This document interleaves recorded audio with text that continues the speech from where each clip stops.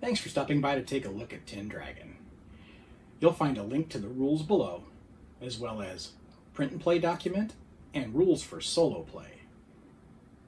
Thanks again. See you soon.